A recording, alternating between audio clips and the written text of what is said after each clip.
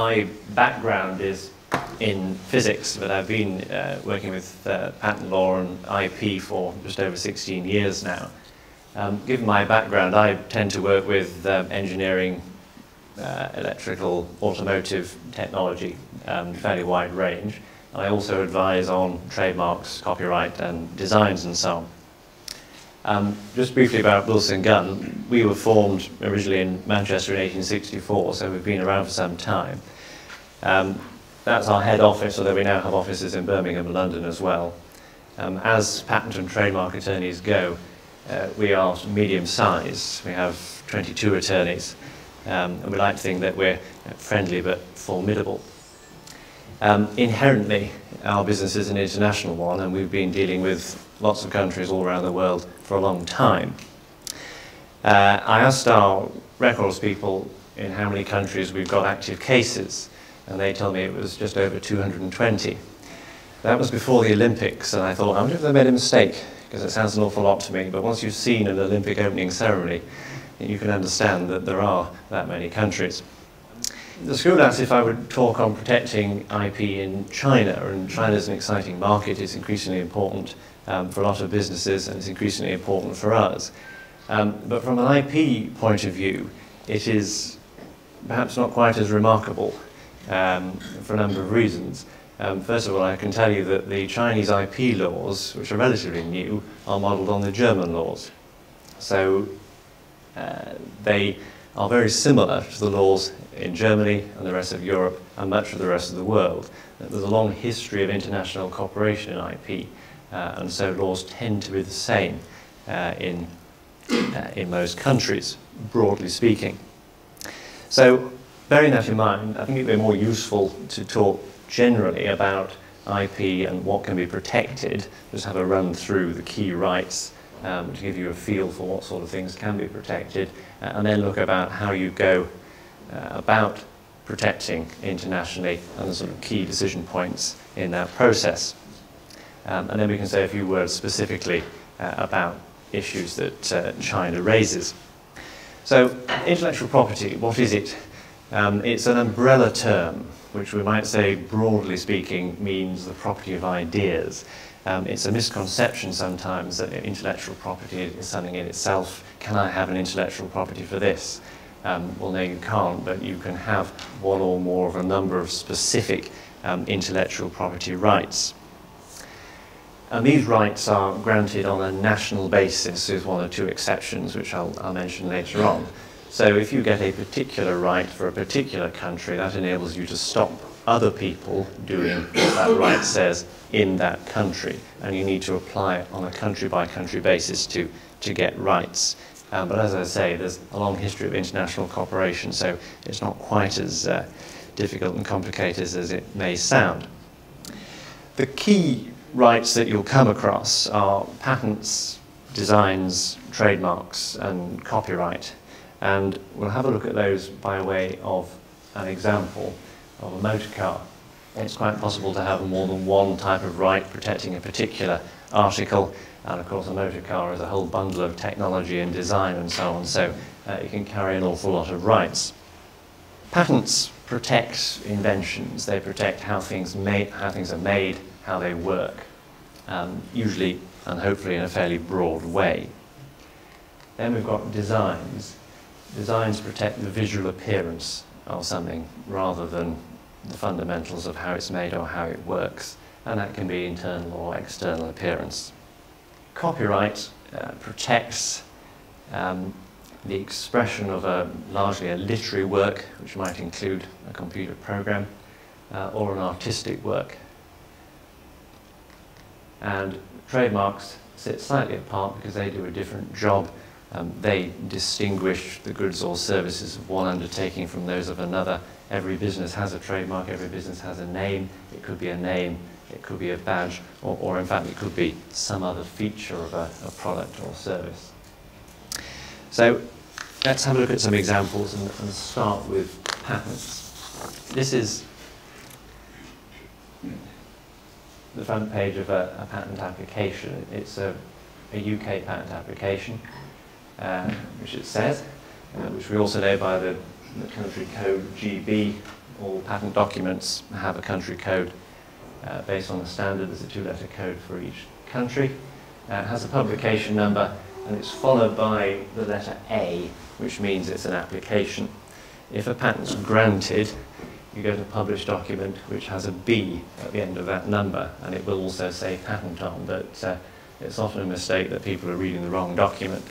Uh, we've got the application here rather than the patent because the application uh, usually has the abstract and a picture on the front to have a look at, and the patent's not quite as interesting. So this is a patent application which is titled Internal Combustion Engine Turbocharger with Electric Motor Drive. And I suppose you'd expect if something's going to be patented on a, motor car, it could well be technology in the engine. And what this is protecting is an engine which has got a, a turbocharger which is driven, has an electric motor to drive the turbocharger. Uh, and there's also a system of valves and ducts which enable air from the compressor and the turbocharger to be blown into the exhaust system. And it does that shortly after the engine has started to put some extra oxygen into the exhaust uh, so that the exhaust catalysts uh, kick off and start working earlier in the cycle to reduce emissions. There are other ways of doing this, and the, the main other way of doing this is to have a, a pump attached to the engine that pumps air into the exhaust system. But this allows the turbocharged system to be used to do two jobs and save some weight. So this is protecting the structure of part of the engine and it's protecting how it works. It's a combination of what you've got and how it's been put together and how it's been arranged to work. And this is directed to an ignition key switch mechanism. Um, it's one that's intended to be used on a vehicle with an automatic transmission uh, and it's set up with the transmission so there's an interlock between the transmission selector and the ignition key so that you can't take the ignition key out until the selector is put into the park position. And what this is actually protecting is fairly detailed design of this ignition switch. Um, there's a system of solenoids there which operate locks on the uh, ignition switch which prevent you taking the key out and they're arranged in such a way that reduces the load of current on the vehicle's battery. Uh, so there's a, a, technical advantage in that. But again, we're looking at protecting here a combination of the structure, what we've got, to, what we've got, what the kit is, how it's been put together, and how it's been arranged uh, to work. Here's, here's another example. Um, in the usual way that patent applications have, this has this sort of oblique title, improvements in or relating to stitched perforated sheet materials.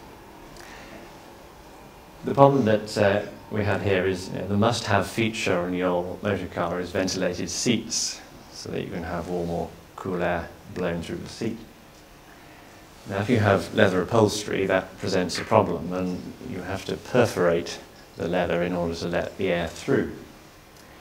And what uh, Bentley were doing in this case is they were wanting to make a quilted design on their upholstery.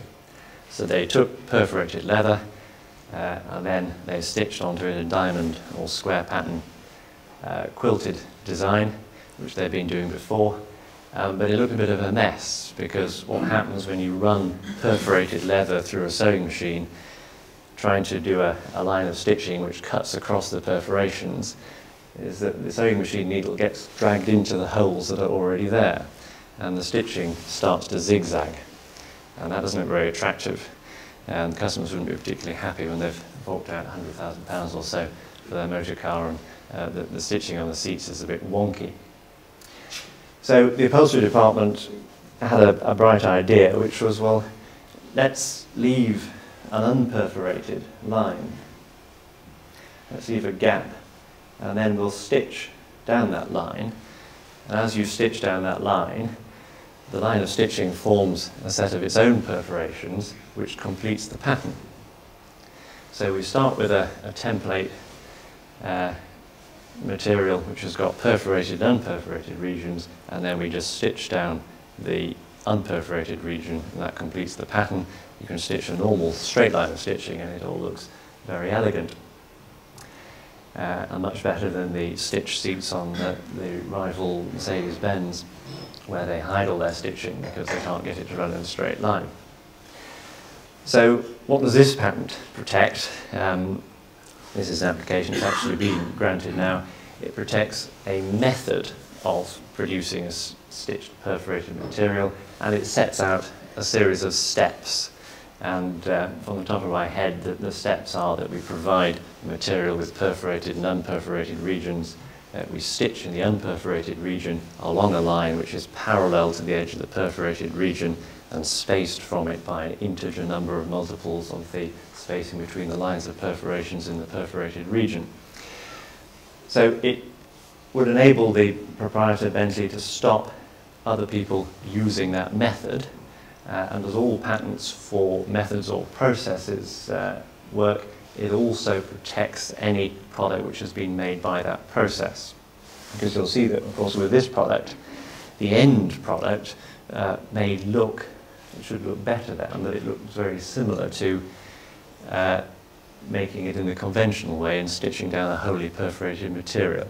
Um, if that was done very well, you might not be able to tell the difference, but this will protect the method of performing those steps and uh, anything which has been made by that method. So moving on to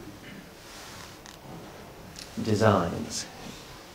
This is a community design registration. This is one of the exceptions in that it isn't a purely national right. Um, you can get a community design registration which covers all the countries of the European Union uh, in one registration and it's very good value. Um, a design registration basically consists of a series of images of the design. Uh, so this is the motor car. Um, we've got images from all sides except the underneath. We don't bother to show bits that don't really matter. Um, no one's going to buy the car on the strength of the design underneath.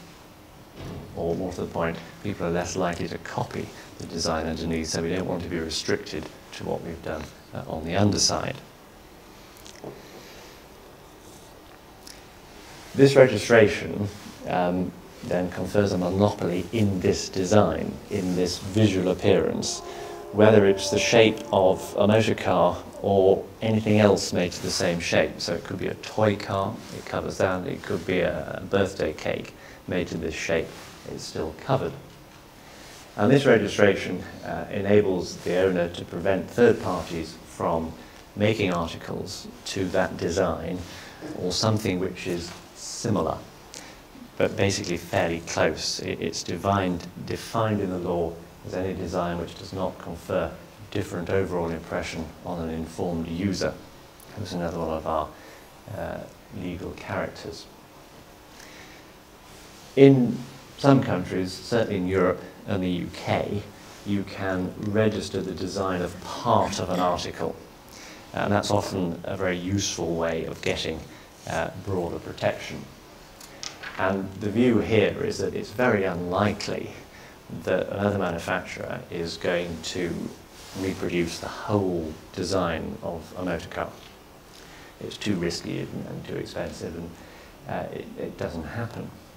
But what they're more likely to do is to take bits of the design, important cues, and um, if you're following motor car designs, um, you'll appreciate that Bentley are fairly upset with Chrysler uh, on the, making the Chrysler 300, which looks from the front very much like a Bentley. So what we've also done is this is a separate registration and it's just for the front view.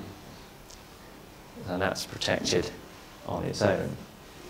Um, the strength of this was actually shown recently because we were advising a client who uh, was going to import into the UK a, a steam mop uh, from a manufacturer in China. Uh, and it was there to compete with an existing product made by another manufacturer. And when you looked at it, you could see that they'd done a very good job of redesigning it just enough to get round the design protection on the original product. From the front, it looked quite different. From the side, it looked quite different. But from the back, it looked just the same. Um, they obviously got a bit bored in doing this redesign. And when they got to the back, they just left it. Uh, and the the rights holder of the original design had been well advised and it had got a community design just for the back.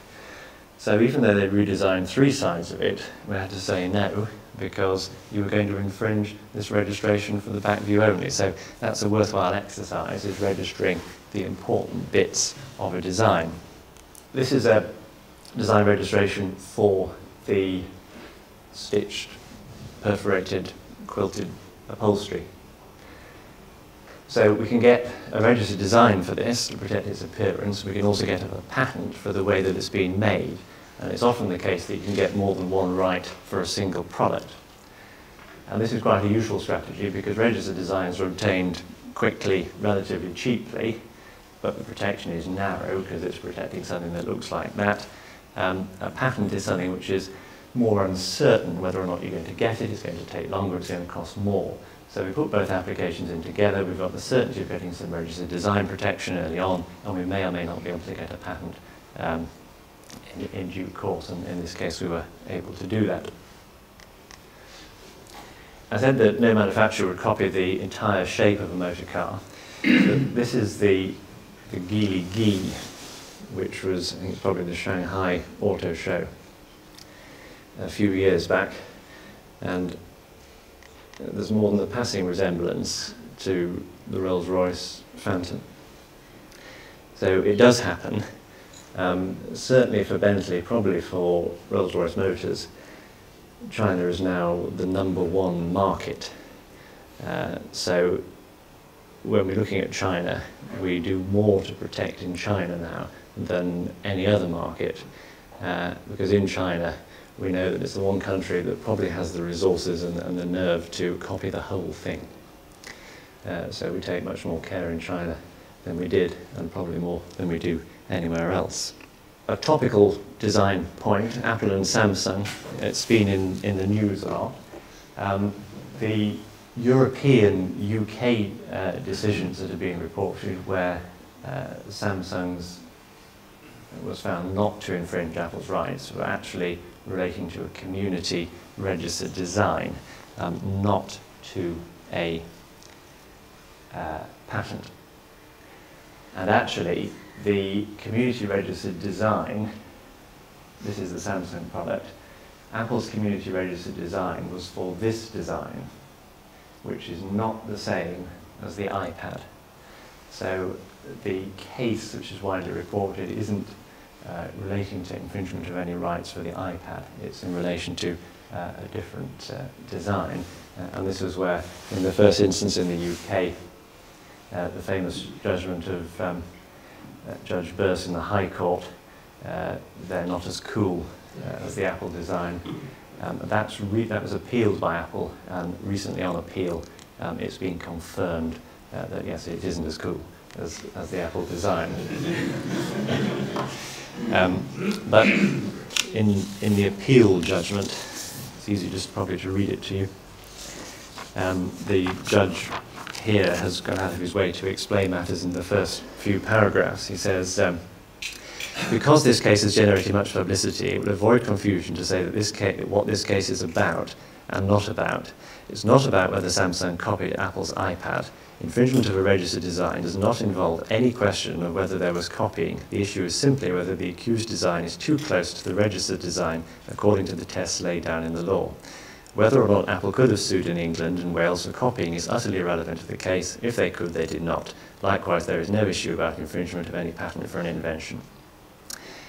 And also, actually, in the US, um, where there was a finding of infringement, it wasn't for this design. Um, in the US, there was a, in the US, a registered design is called a design patent.